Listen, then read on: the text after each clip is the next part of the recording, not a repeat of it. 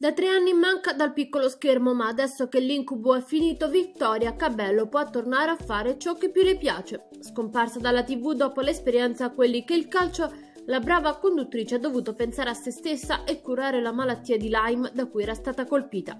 Il decorso di quella che il New York Times ha definito la malattia infettiva che si diffonde più rapidamente in America dopo l'AIDS è stato lento e adesso che è di nuovo operativa l'ex VJ di MTV riparte Diamond Cici, la serie tv cult degli anni 80 sulle scimmiette pelose che dopo 35 anni dalla prima messa in onda in Italia torna su Dea Junior dal 3 novembre.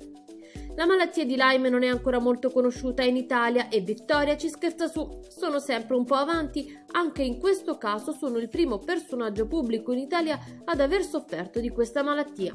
È causata da un batterio che infesta le zecche che a loro volta possono trasmetterlo a uomini e animali. Il primo diffusissimo sintomo è un eritema di piccole dimensioni, a ciò seguono mal di testa, dolori muscolari, febbre e stanchezza.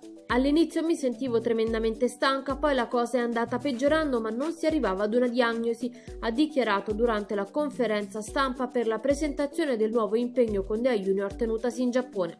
Ora ho deciso di fare solo cose che mi divertono, ha fatto sapere Vittoria.